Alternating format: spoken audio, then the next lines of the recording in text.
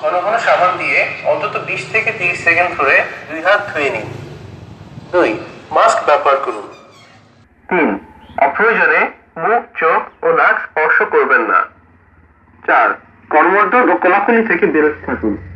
একে অন্যের থেকে কমপক্ষে তিন ফুট দূরে থাকুন। পাঁচ, সামাজিক দূরত্ব বজায় রাখুন। জনবহুল স্থান সমাসমাবেশ এবং সামাজিক অনুষ্ঠান পরিহার করুন। ছয়, হাঁচি কাশির সময় কোনো দিয়ে মুখ ঢেকে রাখুন। সাত, যেখানে সেখানে কফ থুতু ফেলা থেকে বিরত থাকুন।